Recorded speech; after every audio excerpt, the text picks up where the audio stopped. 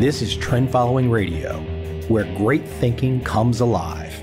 Nobel Prize winners, legendary traders, best selling authors, and the pros that know what drive us irrational human beings.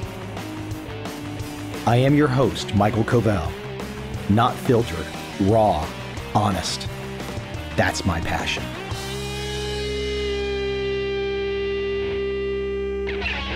Let me open with some voices, some names that you will recognize. And they're all speaking about a certain topic area that has my interest today. First, every child is an artist. The problem is staying an artist when you grow up. Pablo Picasso. If you hear a voice within you say, You cannot paint, then by all means paint, and that voice will be silenced. Vincent van Gogh. Have no fear of perfection. You'll never reach it. Salvador Dali. Curiosity about life in all of its aspects, I think, is still the secret of great creative people. Leo Burnett. You can't wait for inspiration. You have to go after it with a club. Jack London. Imagination is the beginning of creation. You imagine what you desire. You will what you imagine. And at last, you create what you will.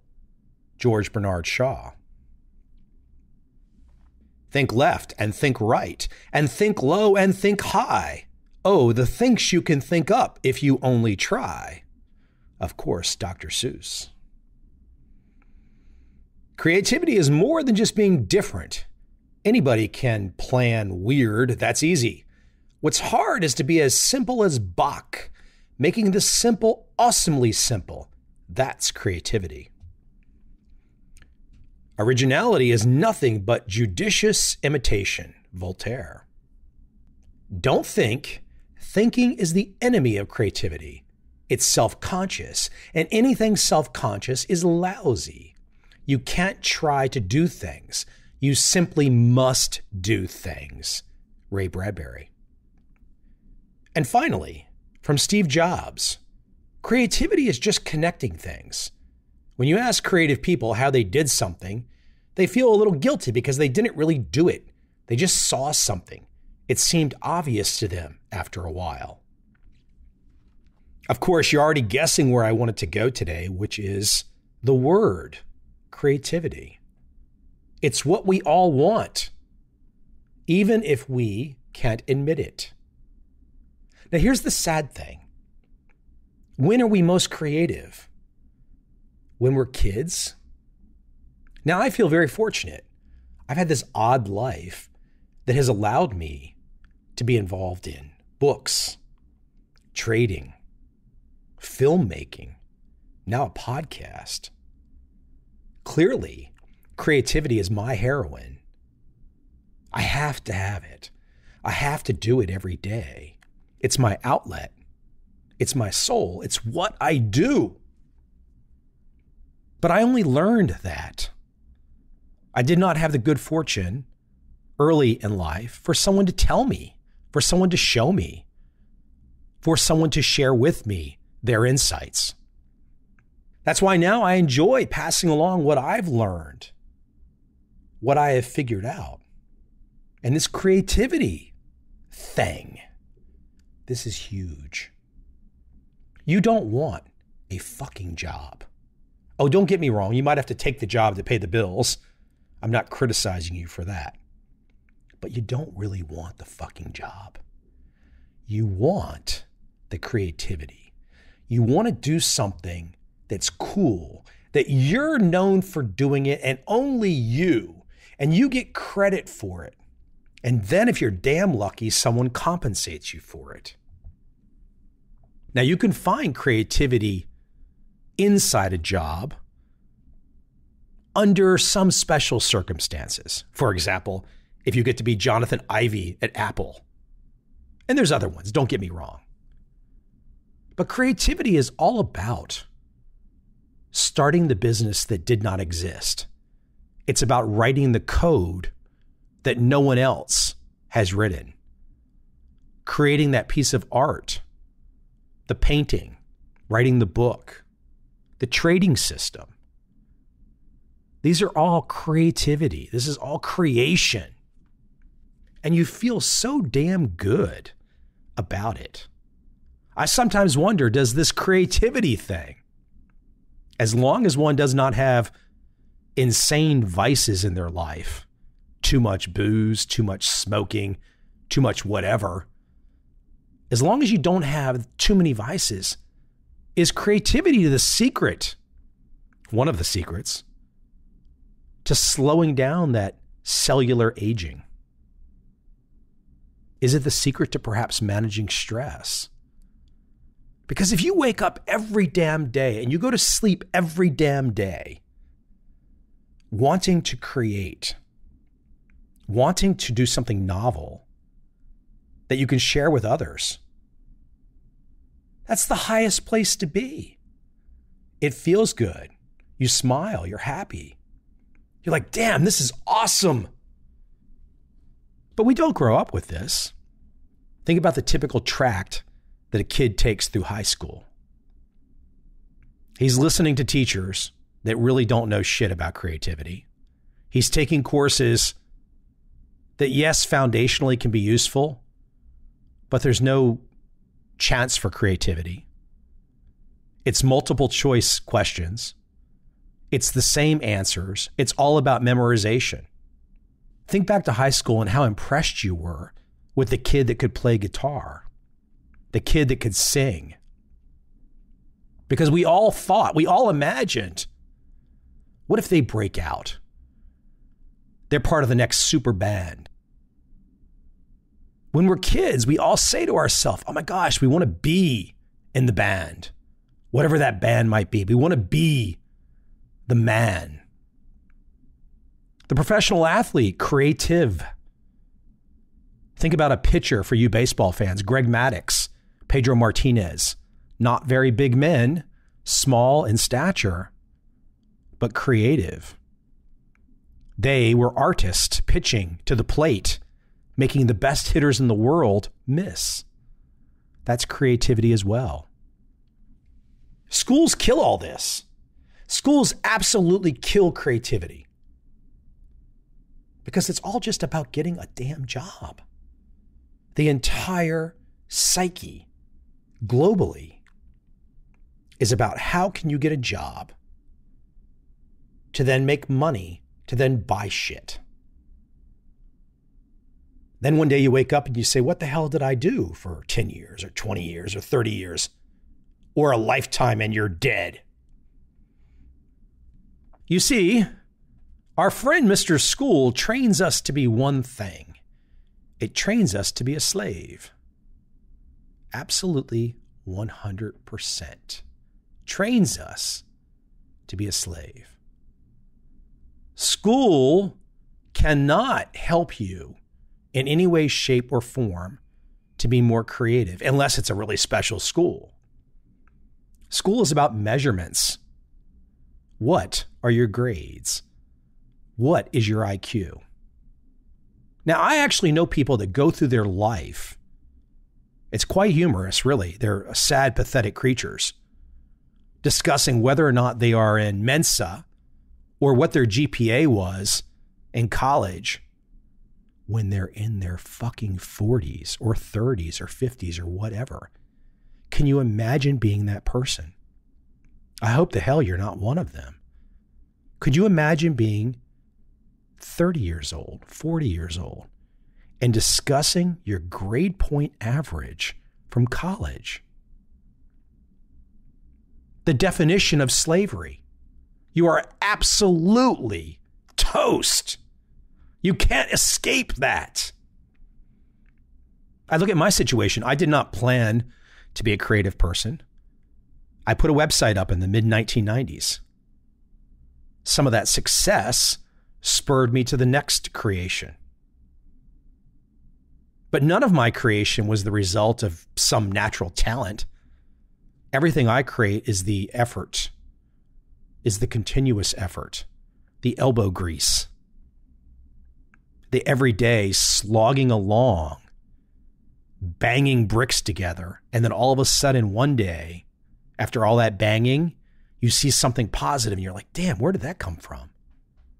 And then you realize only that continuous effort got you there. And it never stops. Look at something like writing. Do you really think that your writing ability is ever at a peak? Of course not. It's always improving, it's always getting better. That is, if you write. If you don't write, my gosh, why do you not write? You must write. I mean, we all write in some way or another with a phone these days. That's part of the game. So why not get good at it? Why not practice at it? Back to my point about school. How does school help any of this? How does school help the creativity? You know the answer. I'm not going to beat you over the head with it too much. What's one of the biggest reasons that creativity is blocked by the system, the state, friends, family, especially in school?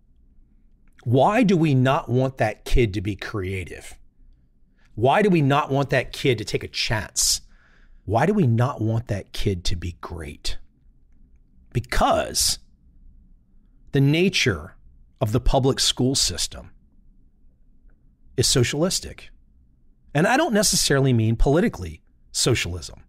I just mean it's socialistic. In the sense, if you do well, the school system is designed to beat you down.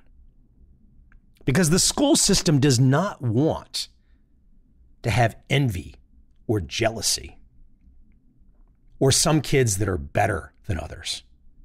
Even though that's how fucking life works. Some kids work harder and they're better. But think about how terrible the school system is in the sense that the kid that is creative, the kid that is taking chances, is trying. The school system wants to push him down. The peers want to push him down because too many people are afraid to say, Congratulations. That was awesome. You're great. You did a great job. I'm envious of you, not because of who you are and what you did. I'm envious of you because I want to work as hard as you. That's the good kind of envy. The kind of envy that's really inspiration. I'm envious of the hard worker not because of something negative. I'm envious because they inspire me. This is the human condition. The human condition is about pushing, it's about effort. And if you're going to be this creative person in your life, you are going to have haters. They're just going to hate you because they hate themselves. They hate you because they hate themselves. That's unfortunately life. Now, the tricky part about where I'm going today is criticism. Because, yeah, you're going to have some people that are inspired, some that are jealous, some that are envious. But in this day and age, where we are all connected criticism, that's the one that's really difficult to deal with. Because there's some really sick motherfuckers out there that enjoy being professional trolls. And they might professionally troll me, and they might professionally troll the 13 year old innocent kid. I mean, let's face it, I'm pretty innocent too yeah, who writes my uh, talking points for me? I don't know how I'm innocent. I'm innocent, kind of, basically, a little. Back to my point about criticism. I want to read a quote from H.L. Mencken, a great perspective about criticism. Quote, as practiced by all such learned and diligent, but essentially ignorant and unimaginative men, criticism is a little more than a branch of homiletics. They judge a work of art not by its clarity and sincerity, not by the force and charm of its ideas, not by the technical virtuosity of the artist, not by his originality and artistic courage, but simply and solely by his orthodoxy. If he is what is called a right thinker, if he devotes himself to advocating the transient platitudes in a sonorous manner, then he is worthy of respect. But if he lets fall the slightest hint that he is in doubt about any of them, or worse still, that he is indifferent, then he is a scoundrel and hence, by their theory, a bad artist. End quote. I live to be a bad artist. Because if I have to kiss the ass of some Weasley, weird, stuck in his mom's basement individual to try and get my art received, no thank you. No thank you. That's not what I want. Now you might say to yourself, well, Michael, what the hell is the point? I'm going to create my art and have no audience? No, that's not my point. The big picture here is to let go of all of it the opinions, the feedback, etc. You will know when your art is good. The market will tell you that your art is good. That's the judge. When the market tells you that your art is good, the market will compensate you. When the market compensates you, you've now got a nice circle. Yeah, no one wants to be a starving artist. And when you hear the term starving artist, what the hell? I'm an artist. I'm not starving. Starving artist is an excuse. So promise me this stay fixated on creativity. If you're too old and you've already given up, tell your kids. Don't go down the slave line of school. Be something more. Leave the legacy.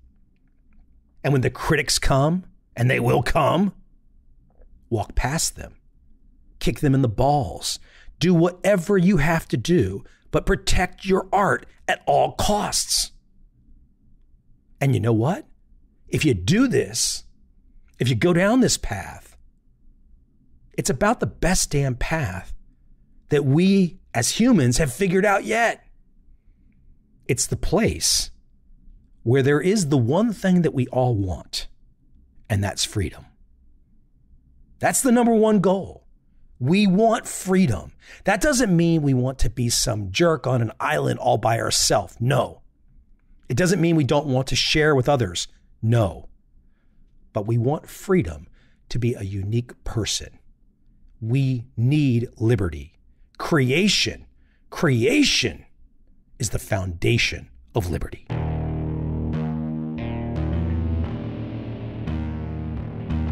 I see a time when those awake will understand how to make money in up, down, and surprise markets.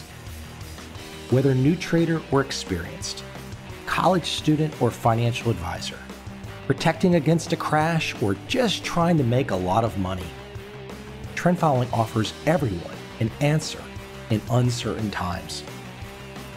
To get started immediately, send me an email, michael at covel.com I will send you the right trend following steps to take along with my free video. But if you want to buy and hold, trust the government, and trust Wall Street, this is absolutely not for you.